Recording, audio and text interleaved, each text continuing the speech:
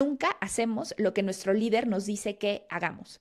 Hacemos lo que vemos que nuestro líder hace. Eh, es mm.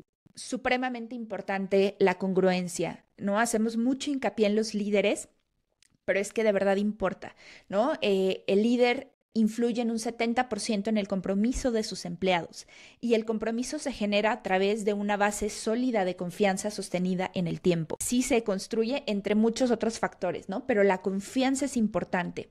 Eh, y quiero reforzar simplemente esta parte de comunicación que les hemos hecho mucho hincapié, pero es que es importante, ¿no? El saber pedir, el confirmar lo que te pido. Para mí, el grave problema de la comunicación es que asumimos lo que que el otro entendió, uno, qué le pedí, dos, la importancia de lo que le pedí.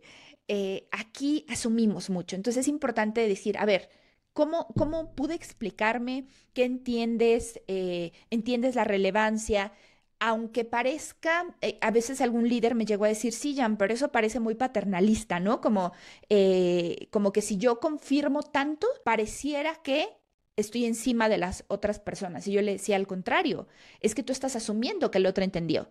Y, lo hemos dicho antes, ¿no? Esto que en mi cabeza es muy claro, cuando lo digo ya cambió. Lo que tú escuchas pasa por el filtro de, de, tu mente, de tus ideas, de lo que estás pensando en ese momento, de la disposición emocional que tienes en ese momento y ya se transformó.